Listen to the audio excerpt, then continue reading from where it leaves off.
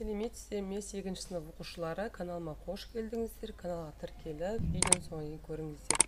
Бүгін мен сіздерге екінші жиынтықты талдайтын боламын. Яғни бөлім бізде қазақстан ұлы отан соғысы жылдарындағы жиынтық бағалау тақырыбы. Қазақстандықтардың ұлы отан соғысы шайқастарына қатысуы оқу мақсаты ұлы отан соғысы жылдарындағы қазақ кср мәдениеті бауыржан момышұлының батырлық тұлғалық қасиеттерін айқындау соғыс жылдарындағы өнер және әдебиеттің халық рухын көтерудегі маңызын бағалау яғни бағалау критерий ә, бауыржан момышұлының батырлық тұлғалық қасиетін сипаттайсыздар. Соғыс жылдарындағы өнер мен әдебиеттің халық рухын көтерудегі маңызына баға бересіздер. Ойлау дағдыларының деңгейі қолдану және орындау уақыты 20 минут. Ә, бірінші тапсырмаға тоқталатын болсақ бауыржан момышұлының халық есінде қандай қасиеттермен сақталғандығын сипаттаңыз дейді.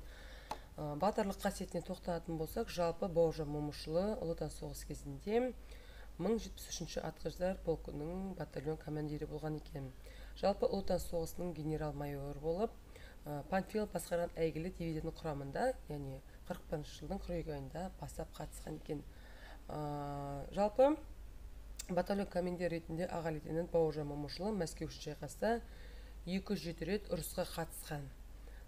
Қырық бірінші жылдың он алтыншы он сегізінші қараша күндері вермахтың мәскеудің бағытындағы екінші мәрте жасаған жоғары кезіндегі аға лейтенант момышұлы басқарған батальон дивизиясының қашықта маратино деревнясының жанындағы болмаса тас жолында аса ерлікпен ұрыс жүргізген екен. Жалпы ә, мағаужан момышұлы ол әскери ә, фашистер жабуынан тойтарып батальон үлкен шығынсыз ұрысқа қабілетті жағдайда қоршауды шыққан екен. Яғни оның қаталдығы тәртіпке бас иген құл болмайды деген яғни соғыста орынсыз адам шығынға болмас үшін туған қаталдық деген екен. Ә, бауыржан момышұлы өзінің жеке және халық үшін күрескен намысшыл адам болған. Тұлғалық қасиетіне тоқталатын болсақ жалпы әскери педагогия және әскери психология байытуынша баға жетпес мұра қалдырған дара тұлға оның атақ даңқы батырлығы бектің воломоск тас жолы атты кітабында суреттеген екен. Сонымен қатар табиғат берген ата ананың қанымен келген бауыржан болмысы тек адалдықтың шыншылдықты өжеттілікті қажет етті.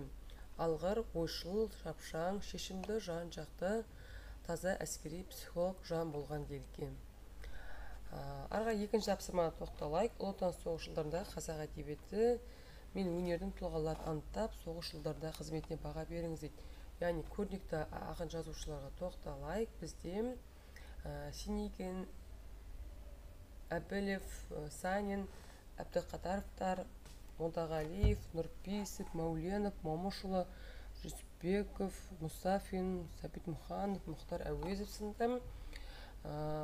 Жамбыл жабаев сынды. Бізде көрнекті ақын жазушыларымыз бар. Ал қазақтың кәсіби композиторлары яғни қазақтан композиторлары үш жүзден астам музыкалық шығармалар опералар симфониялар әскери патриоттық әндер жазған екен. Соғыс жылдарында опера өнері дами түсті. Мың тоғыз жүз қырық екінші жылы жұбанов пен хамидидің опералары қойыла бастады. Танымал актерлар яғни шәкен айманов қомбақұлов өмірзақов қармысов бекеева сияқты актерлер елге танылды. Ноғайбаев жантурин және тағы да басқа актерлер болған. Жалпы соғыс жылдарындағы бұл тарихи тұлғалардың қызметіне баға беріңіз дегенде жалпы бұл тұлғалардың шығармалардағы әскери рухани күшпен бірге ә, жеңіске жетеледі ә, жалпы оқушылар бүгінгі біздің жиынтық бағалауымыз 8 балдық жүйемен бағаланады. Сіздерге пайдалы болса каналға тіркеліп ә, достарыңызбен сыныптастарыңызбен видеоны бөлісіңіздер алда уақытта тоқсандық тапсырмасы болады. Сау болыңыздар.